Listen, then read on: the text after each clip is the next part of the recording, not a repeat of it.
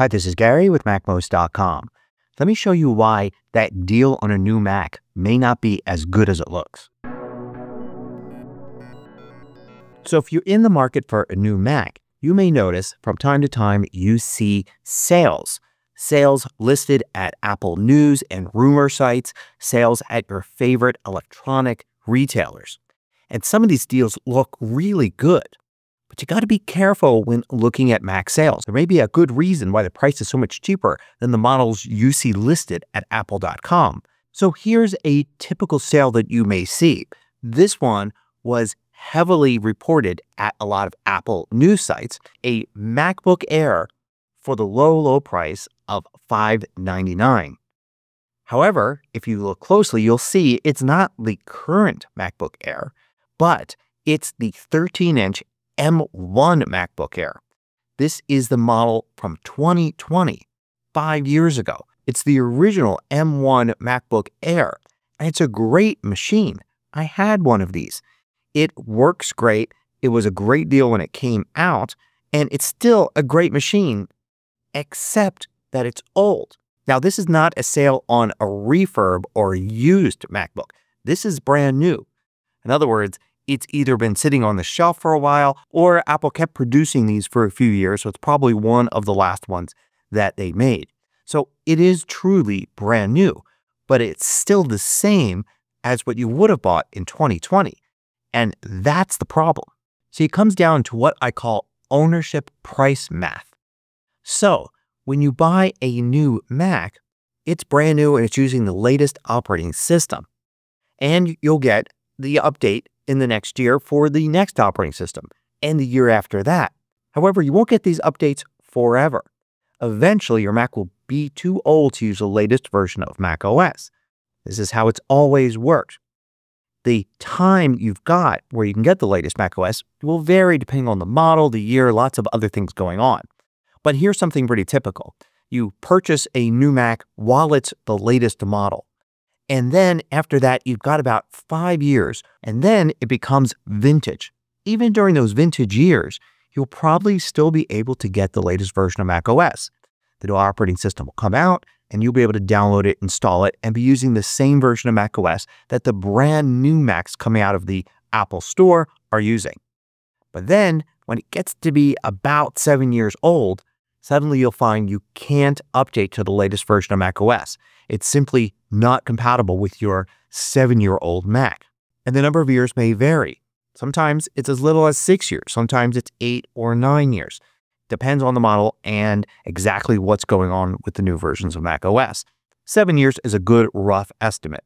So when you buy a new Mac that is brand new, Apple just released that model, you probably can look forward to about seven years where you're using the latest version of Mac OS, and then you'll be behind by one version, and then behind by two versions, and so on. You'll still get some security updates, but even those will stop after a couple more years. Now, this may not matter to you. There are plenty of people using Macs that are 7, 8, 9, 12, 15 years old and are perfectly fine with that. And that's great, but a lot of people are not. They want to be using the latest version of macOS and be getting all of the updates and can use all the new things that come out, including third-party software that may not be compatible with older versions of macOS. So there are a lot of people that will buy a Mac and use it while they can still get the latest version of macOS. And as soon as they can't, then it's time for a new Mac. So approximately a six or seven year cycle. If you find these videos valuable, consider joining the more than 2,000 others that support MacMost at Patreon. You get exclusive content, course discounts, and more. You can read about it at macmost.com slash Patreon. So now back to these sales. So let's say that you bought a new Mac as soon as it came out. Apple releases a new version of a MacBook, you buy it. So you buy it and let's say it's 999. The price for that M1 MacBook Air all the way back in 2020. Now you continue to use it for about six and a half years using the latest version of macOS. We don't know exactly when the 2020 MacBook Airs will stop getting macOS updates, but let's estimate six and a half years. So if you keep the Mac for six and a half years, the ownership math works out to $154 a year. Your $999 divided by six and a half years is $154 per year that it cost you to have a Mac that had the latest version of Mac OS. Now let's consider if you bought the same Mac on sale. Instead of for 999, you buy it four or five years later for 599, a 40% discount. Pretty substantial discount to get exactly the same machine, still brand new, not used, not refurbished. But now you only have about two and a half years where you'll be able to get macOS updates. So if you want to buy a new Mac at that point because you want the latest version of macOS, then the ownership math works out to $240 a year. The $600 divided by two and a half years gives you a higher per year cost than if you bought the Mac when it originally came out at full price. So you can see the problem with these sales. Very often, you end up with a higher per year price for a Mac simply because you're buying Macs more often because you're buying them late. You're not getting them when they come out new at full price. The discount you get for buying an older model as new doesn't always reflect the decreased value it has because it doesn't have the longevity as if you bought it when it first came out. Now, this isn't necessarily always the case. For instance, here's an M2 MacBook Air. And this one's slightly upgraded from the base, 16 gigs of memory instead of the original 8 gigs. And it's $700. Now, this is a 2022 model. So let's say you had this for three and a half years before now you find you can't update it anymore and you're already looking at a new model. It comes out to about $200 per year. Now, if you had bought this new, it would cost you $1,400, but you would have gotten more years out of it.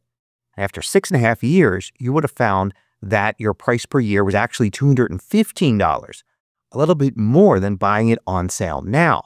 So it seems like it is a good deal to buy this model now than when it originally came out. The price has been discounted enough for it to make sense. But there is another factor. It's a little bit fuzzier and hard to put an exact number to, though. Consider a brand new Mac, one that Apple just came out with, and you buy it as soon as it comes out.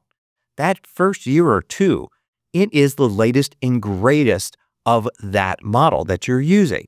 Those are the best years for that Mac. The best time to own it, not because the age of your particular Mac, but the age of the model itself. It's basically the current model of that type offered by Apple. But then consider another two years, maybe years four and five with that Mac. It's an older model now. Those aren't the best years for that Mac. It may still work just fine, but there are much better models there. You're not using the greatest anymore. So look at this like this. The first two years are like the best years of that Mac. When you own a Mac from the very beginning, you get those first two years. And then in addition to that, you get, say, four and a half more years to use that Mac. If you buy it later, let's say you even just buy it two years later, you're missing out on those best years. You still get four and a half years at a discounted price, but you never got to use that Mac when it was latest and greatest. Now, this may not matter to you. That's why it's kind of fuzzier, but it is something to consider, especially when you're looking at the difference between $200 a year or $215 a year to own the Mac. The $200 a year cheaper price doesn't include those best years. You never had a Mac that was the latest and greatest of that model. You only ever owned it after it was already replaced by another model. Now, all that said, there's still plenty of good reasons to own a new Mac that is an older model. For instance, you may simply not care about most of the things I talked about. You may not care about not being able to update to the latest version of Mac OS. You may not care that you didn't get to use the Mac during its first few years when it was the new model. And this certainly makes an older model at a cheaper price attractive. Another thing is you may know that you only need this Mac for a limited time. For instance, a student getting a new Mac may know that they're only going to use it between two and four years to complete a degree program, and they're unlikely to want that same Mac once they're out of school and working. So they just want something to cover that period of time, making a Mac that only lasts three or four years pretty attractive if the price is right. Or it could be that you simply need a really cheap Mac right now, say for a job search, but after you get a job, you fully anticipate that you're not going to want to stick with this cheaper Mac model and probably will want to upgrade to something more powerful anyway. In that case, having something that's cheap but not likely to last more than a few years is fine. And then I realize, of course, that there are people that have no other choice, that their budget may simply be $600 or less for a MacBook Air, $500 or less for a Mac Mini, and it may be the only actual realistic option to get a cheaper Mac like this. In that case, not only look at these new Macs, but also look at refurbished models that Apple has for sale. You might be able to get a newer model that's refurbished for the same price as an older model that's new. But always buy a refurbished Mac from Apple, not from any third parties, just because there are too many third parties out there that are not doing a good job refurbishing Macs. So if you're drooling over some of these Mac sales that you see sometimes, hopefully this gives you a more complete picture of what you'll be getting if you decide to go with one. Hope you found this useful. Thanks for watching. If you liked this video, click the thumbs up button below to let me know. I publish new tutorials each weekday. Hit the subscribe button so you don't miss out.